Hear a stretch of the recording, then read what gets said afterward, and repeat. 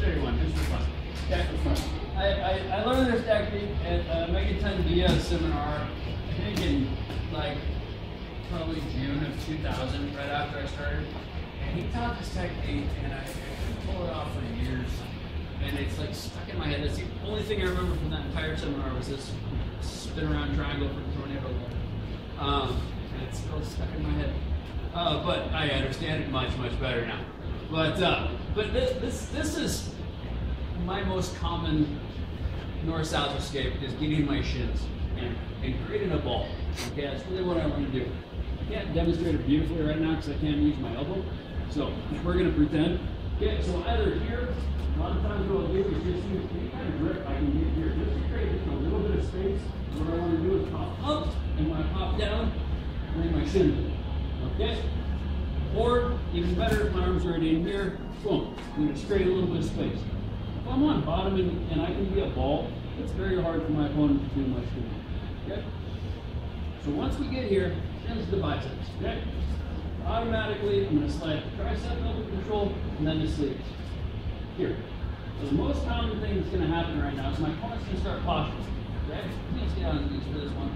Because if he doesn't, if he stays low, I can very simply just drive it. Okay? I pick an angle, I roll over. But as he gives me a little bit of space here, I'm going to come straight up to feet on bicep. Okay, so essentially an inverted guard. Okay, I'm referred to as tornado guard or inverted guard. Okay, we're upside down. Really important when I'm playing this, I want the blades of my feet right in the his elbow. Okay, I don't want to ride the middle bicep, I want to ride in the joints, okay, like I'm playing a, playing a marionette.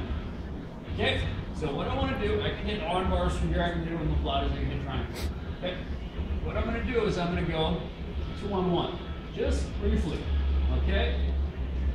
Or if I want to go faster, I just shoot the leg all the way through, okay? But for the purpose of this one, we're going to go two on one. This is an advanced technique, okay?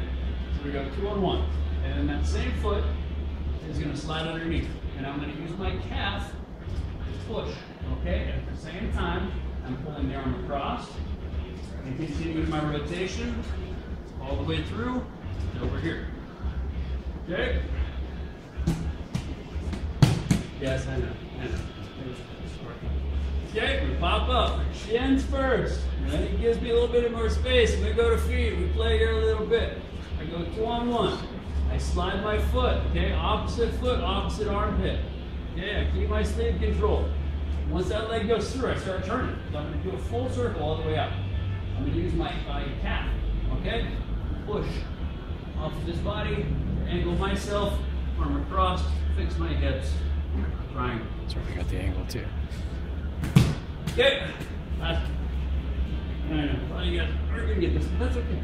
That's one, I just want to show. Okay. We go. Two. Switch. Here. Catch the head. Close it up. yeah, go and play around with it just for a second. Yeah, I know. I know.